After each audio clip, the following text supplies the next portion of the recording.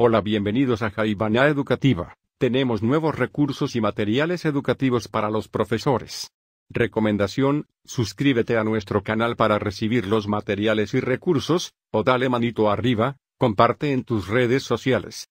Visítanos en jaibana.com.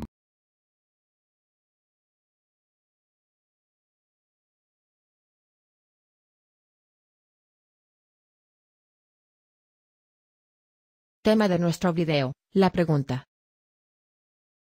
Haciendo preguntas para mejorar el aprendizaje. Cómo un solo cambio en el aula puede llevar a una mayor curiosidad de los estudiantes. Jaibana Educativa reconoce la importancia de los profesores en el desarrollo de habilidades de aprendizaje e innovación de sus estudiantes. Estas habilidades, que a menudo se denominan las 4C, representan la creatividad, pensamiento crítico, comunicación y colaboración. Los neurocientíficos de la Universidad de California encontraron que la alta curiosidad puede mejorar la memoria individual de la información que obtienen, y sugieren que estimular la curiosidad antes de la adquisición de conocimientos podría mejorar el éxito del aprendizaje de sus estudiantes. Las preguntas. Cuando se prepare para enseñar, componga las preguntas específicas que le hará a sus estudiantes, o anticipe las preguntas que le harán a usted. Si lo hace, ayudará a aumentar la participación de los estudiantes y fomentar el aprendizaje activo. Las estrategias que presento a continuación también son útiles cuando formula preguntas para evaluaciones y tareas. Estrategias generales para hacer preguntas. Las preguntas, profundas, imaginativas, maravillosas, pueden ayudarnos a identificar y resolver problemas, proponer ideas innovadoras y buscar nuevas oportunidades. Entonces, ¿por qué a menudo nos resistimos a preguntar, ¿por qué? Por ejemplo, ¿quieres que los estudiantes dominen los conceptos básicos para desarrollar sus habilidades de pensamiento crítico? Las preguntas que haga deben ayudarles a practicar estas habilidades, así como a comunicar los hechos, las ideas y las formas de pensar que son importantes para su aprendizaje en su curso. Las preguntas que no podemos contestar son las que más nos enseñan. De temor de un hombre sabio, 2011. Escuchemos esta historia. ¿Por qué no podemos ver la foto? Edwin Land fue un brillante inventor, a veces descrito hoy como el Steve Jobs de su tiempo. Era capaz de ver nuevas posibilidades, a veces llegando a él como visiones detalladas y completamente formadas, que otros no podían imaginar. Sin embargo, incluso Land no pudo ver la oportunidad de cambio de vida que tenía en sus manos en un soleado día de invierno en 1943. Más bien, una pregunta precoz de una niña de tres años de repente trajo el foco al futuro. En ese momento, Land estaba de vacaciones con su familia en Santa Fe, Nuevo México. Había tomado algunas fotografías de su pequeña hija Jennifer, usando su cámara favorita. Por supuesto, en esos días, la película tenía que ser llevada a un cuarto oscuro o un laboratorio de procesamiento para su desarrollo. El mundo sabía que esto era un hecho en ese momento, al igual que cualquier adulto. Pero la joven Jennifer tuvo una opinión diferente. Ella quería saber, y le preguntó a su padre, por qué no podían ver la foto que acababa de tomar sin tener que esperar. Lan descubrió que no tenía una buena respuesta para ella. Y tomó esto como un desafío, o como lo describió, un rompecabezas que ella me había propuesto. Estimulado, Lan recordó en un discurso años más tarde, pensé, ¿por qué no? ¿Por qué no diseñar una imagen que se pueda desarrollar de inmediato? Le tomó a Land cinco años más para hacerlo, pero finalmente él respondió a la pregunta de su hija, en la forma de la cámara instantánea Polaroid. Preguntas directas y específicas. Durante las discusiones en clase, en lugar de comenzar con una sola pregunta, use las múltiples maneras de preguntar, suba de categoría, use una secuencia de preguntas para desarrollar profundidad y complejidad. Las preguntas para evaluaciones o tareas, a menudo brindan una oportunidad adecuada para hacer preguntas de formas múltiples.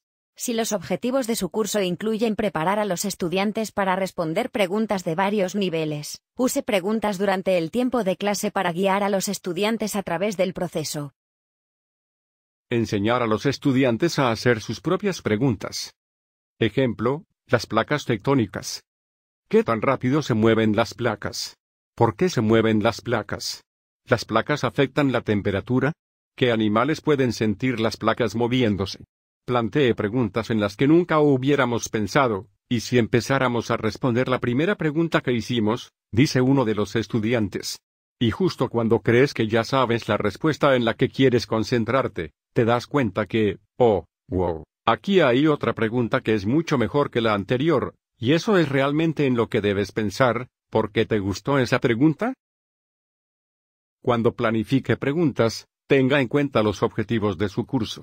Por ejemplo, ¿quieres que los estudiantes dominen los conceptos básicos para desarrollar sus habilidades de pensamiento crítico? Las preguntas que haga deben ayudarles a practicar estas habilidades, así como a comunicar los hechos, las ideas y las formas de pensar que son importantes para su aprendizaje en su curso.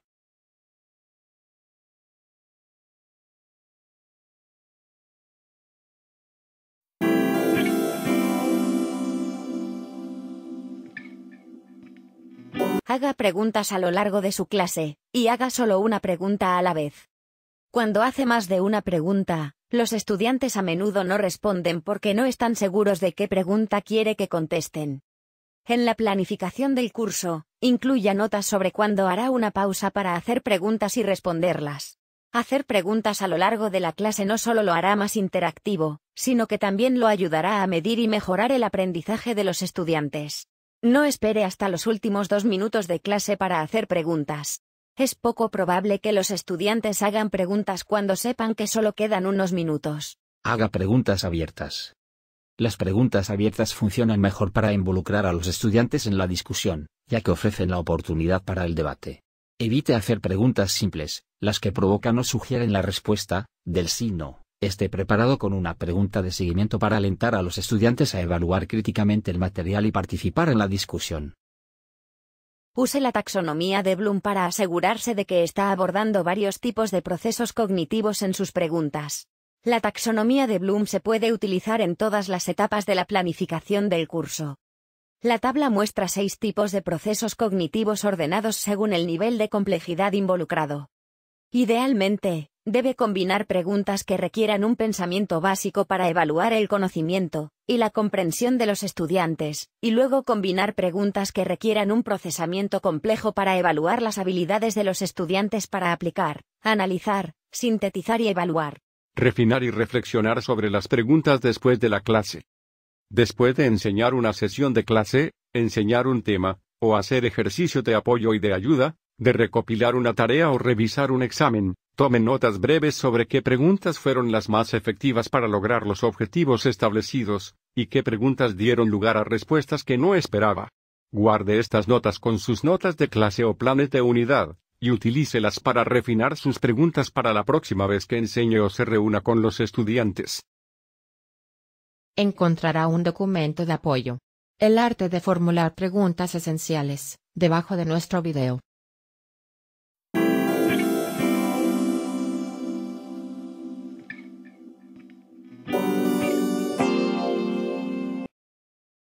Suscríbete en nuestro canal de YouTube, y serás el primero en recibir nuestros tips formativos.